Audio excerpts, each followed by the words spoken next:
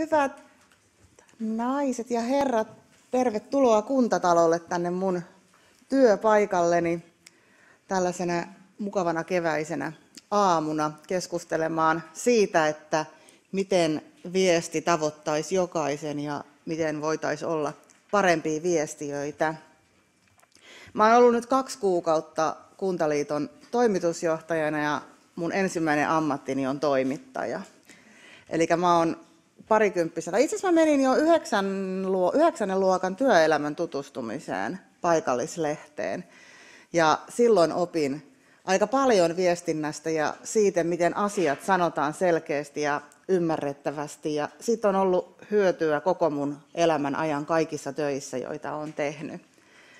Olen matkan varrella siis ehtinyt toimimaan kansanedustajana ja kaupunginjohtajana ja ylijohtajana ja nyt tällä hetkellä täällä Kuntaliitossa toimitusjohtajana. Mä oon johtamisen ammattilainen ja sitä kautta viestintä on yksi tärkeimmistä työkaluista, joita mulla on mun työhön, koska johtaminenhan on viestintää.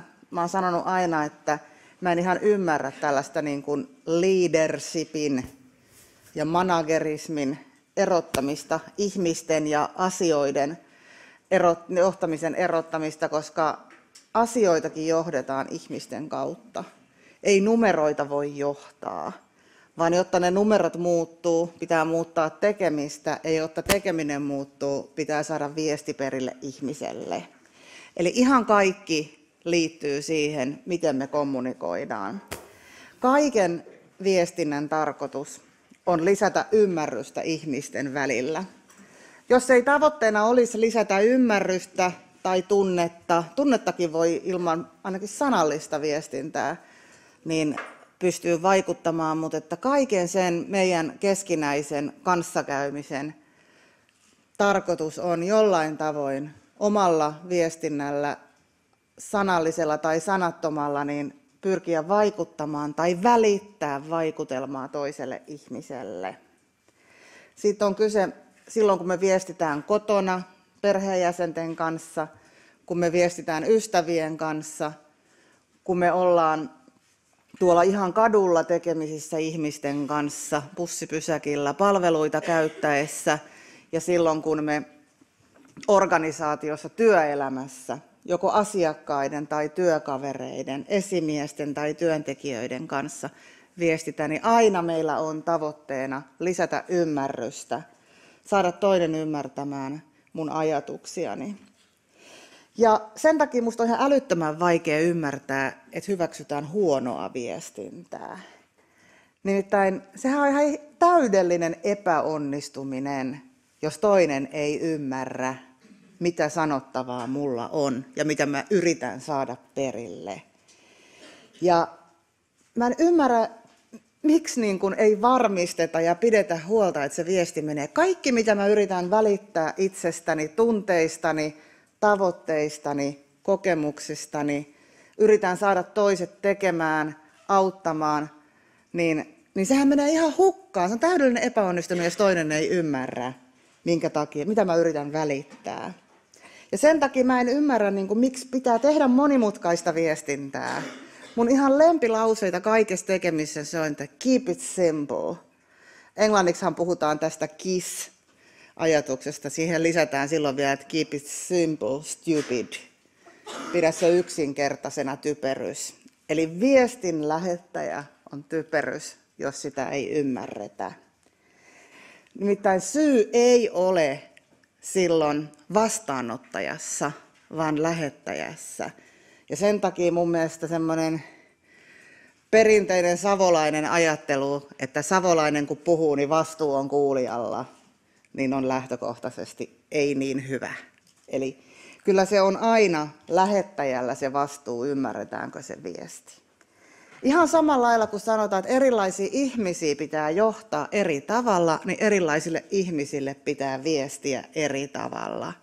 Ja silloin se kertoo sun osaamisesta ja ammattitaidosta, kykenet sä välittämään sen viestin. Kyllähän me osataan sekin, että jos me puhutaan lapselle, niin puhutaan me ihan eri tavalla kuin jos me puhutaan kollegalle. Ja, ja musta se ei ole huono. En, en tarkoita sitä, että pitäisi kaikille vääntää rautalangasta ja puhua niin kuin lapsille ja varsinkaan lässyttämään. Mutta, mutta se, että kyllähän me lapselle puhutaan yksinkertaisempaa kieltä, me artikuloidaan eri tavalla, koska me varmistetaan. Ja silloin siinä ensimmäisessä kohtaamisessa, kun me sanallisesti viestitään, niin on tosi tärkeää hakea ensin se yhteys, että millä tavoin me puhutaan. Kyllähän sä tsekkaat, puhutaanko me samaa kieltä. Puhutaanko me molemmat suomea vai puhutaanko me ruotsia vai puhutaanko me englantia. Ja ainakin pitää yrittää päästä sen toisen tasolle. Jos ei yritä, niin se on aika ylimielistä. Meinasin sanoa arroganttia, mutta mä en pidä sivistyssanoista. Mä en edes ymmärrä kaikkia sivistyssanoja. Mun täytyy sanoa, että nyt kun mä oon aloittanut uuden duunin ja oon ottanut haltuun aika paljon esimerkiksi jo, yritysjohtamisen asioita, joita mä en ole aikaisemmassa elämässä tehnyt, niin mä joudun vähän väliin katsoa Googlesta, mitä joku asia tarkoittaa. Koska en mä osaa kaikkia hienoja sanoja enkä käsitteitä, vaan mä joudun opettelemaan niitä. Ja sitten itse asiassa, kun joskus joltain kysyy, niin huomaa, että ei ne muutkaan siinä huoneessa ole ymmärtänyt. Mä oon ollut vaan ainoa, joka on niin hölmö tai rohkea, että uskaltaa kysyä, että anteeksi, mitä tarkoitit. Eli pitää yrittää löytää se yhteinen kieli. Silloin kun mä olin Saksassa aupairina lukion jälkeen niin hoitamassa lapsia, niin mun paras kielen opettaja saksan kieleen oli sen perheen kolmevuotias lapsi, koska se puhui yksinkertaista kieltä. Musta oli aivan huikean hienoa jutella hänen kanssaan, koska hän ei puhunut vaikeilla rakenteilla eikä vaikeilla käsitteillä, vaan semmoista niin todella selkeää yksinkertaista kieltä. Ja samoin ihan valtavan palkitsevaa oli tehdä perheen seitsemänvuotiaan kanssa saksan kielen läksyjä, koska niissä mä pystyin loistaa, koska mä osasin monta juttua. Eli parhaita silloin opettajia oli nämä lapset. Ja koska harvoin auttaa, meidän pitää yrittää hakea sitä yhteistä kieltä, opettaa toista, ehkä kommunikoimaan paremmin, kannustamaan sitä toista ja ei toimimaan niin kuin mun edesmennyt ex-appiukkoni.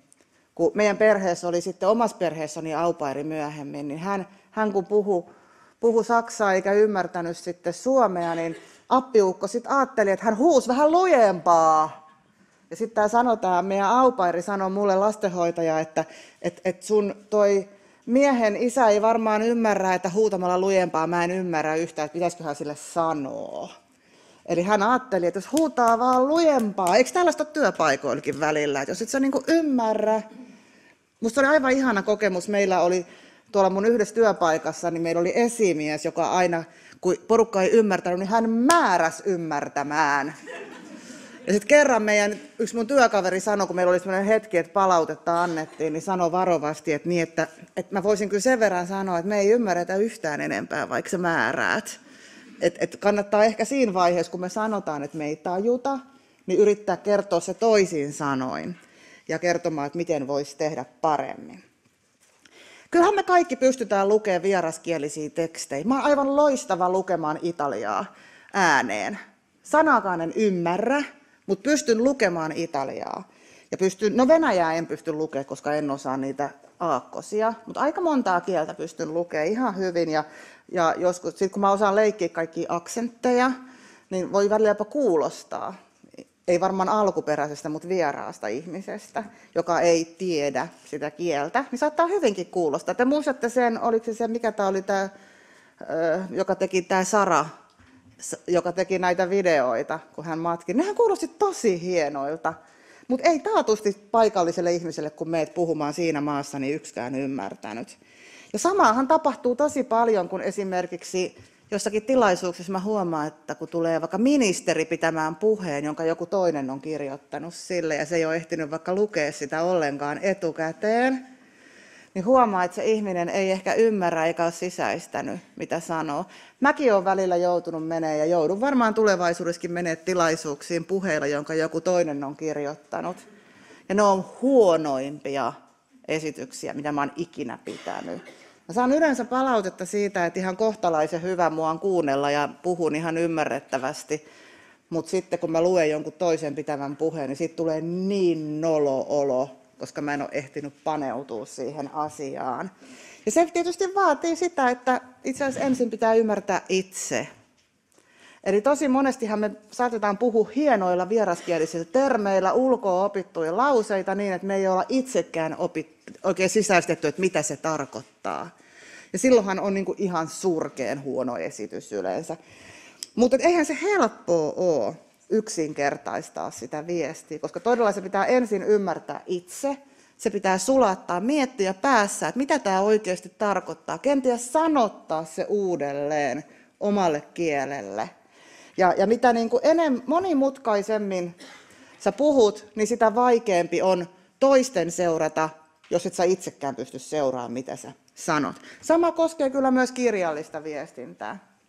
Mun edellinen työpaikkani oli tosiaan tuolla aluehallintovirastossa, mistä mä oon tosi ylpeä, koska me saatiin Etelä-Suomen aluehallintoviraston valtakunnalliseksi erikoistumistehtäväksi saavutettavuusvalvonta Suomessa. Mä silloin, kun valtiovarainministeriössä kysyttiin, että ottaisiko avit, niin mä nostin käden pystyyn, että me otetaan.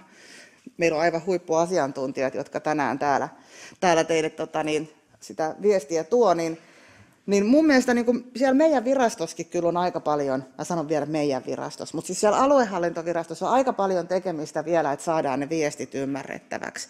Virkamiespäätökset, pitää saada ne, ne tota niin, ohjeet, käyttöohjeet tarvitsee aika paik- monessa kohtaa ohjeita. Eli soveltamisohjeiden soveltamisohjeita tarvitaan nykyään monessa kohtaa. Tehdään niin monimutkaisia ohjeita, että niitä ei kukaan ymmärrä niin pitää pystyä yksinkertaista. Ja yksi, mistä me käytiin ihan jatkuvaa vääntöä, oli tietysti näiden päätösten lisäksi lehdistötiedotteet.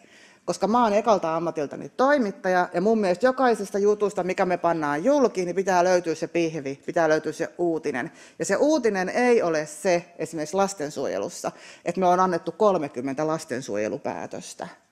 Uutinen on se, että minkälaiset ilmiöt toistuu, minkälaiset ongelmat suomalaisilla lapsilla on tänä päivänä, millaisiin asioihin pitäisi puuttua, mitä johtopäätöksiä ne asiantuntijat voi vetää niiden tapausten perusteella, ei kuinka montaan, vaan mitä se kertoo suomalaisesta yhteiskunnasta. Mutta sekin vaatii tekemistä. Ja asiantuntijat pelkää usein myös sanoa suoraan asioita, koska ne pelkää, että tulee vääriä tulkintoja. Mutta annetaanko me se väärän tulkinnan mahdollisuus oikeasti sille lukijalle tai kuulijalle? Sen takia lehdistötiedotteetkin pitää olla yksinkertaisia, koska eihän me voida antaa sitä riskiä, että toimittajat tulkitsee niitä väärin mitä lehdistötiedotteet me annetaan. Koska jos ei me itse kerrota, mitä tämä tarkoittaa suomeksi, niin sitten se toimittaja kirjoittaa se ja se menee ihan taatusti mettään, jos se on ollut huono tiedote. Ja sen takia mun pitää ottaa vastuu siitä, miten mun viesti ymmärretään. Ja johdolla on vastuu siitä, miten organisaatio viestii. Johdolla on viest, vastuu siitä, mitä sieltä omasta suusta tulee. Se nyt on ihan päivän selvää, että on vastuu siitä. Se ei ole yhdenkään työntekijän vastuulla, mitä sieltä tulee, vaan se pitää ymmärrettävää. Toki se voi olla ihan kauheita juttuja, mitä sieltä tulee ihan selvällä suomen kielelläkin. Mutta se, että, että, että jos sä haluat asioita tapahtuvan, niin se pitää olla selkeää. Ja johdolla on vastuu siitä, mitä se organisaatio viestii, kuinka hyvin ne asiantuntijat viestii, kuinka ymmärrettävää sen organisaation viestintä on. Sitä ei voi ulkoistaa pelkälle viestintäosastolle, vaan se on jo ylimmän johdon vastuulla, että jokainen siellä organisaatiossa oppii viestimään. Ja on tärkeää, että se viesti tavoittaa kaikki ne koska on aika iso riski lähteä sillä tavoin, kun viestiä muotoilee, niin valmiiksi rajaamaan ryhmiä ulos siitä viestinnästä. Minusta on aika rankka päätös organisaatiolta valikoida, että me viestitään tällä tavoin ja mä en välitä, jos nämä ihmisryhmät ei sitä viestiä ymmärrä. Jos me ei saavuteta porukkaa joko kielellisesti, taidollisesti tai muilla tavoin, niin me tehdään aika iso rajaus ja siitä pitää kantaa silloin vastuu. Se tarkoittaa, että nämä ihmiset, ei, me ei haluta palvella näitä ihmisiä, jos me tietoisesti rajataan ryhmiä liian vaikealla, yksipuolisella, kapealla, vääränlaisella viestinnällä. Ja silloin voi miettiä, että miksi ihmeessä se organisaatio on olemassa. Silloin voi kyseenalaistaa koko sen organisaation olemassaolon ja, ja se, että onko se organisaatio ylipäätänsä tehtäviensä tasalla.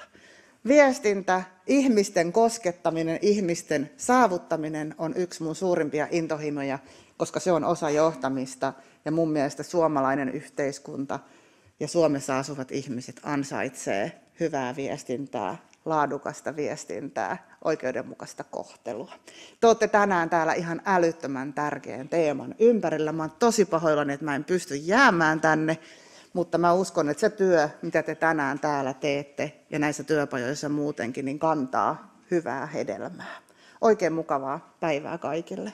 Kiitos. Kiitos Minna. Mitä tässä muuta voi sanoa kuin, että aamen, todellakin. Sisar todisti väkevästi. Kyllä.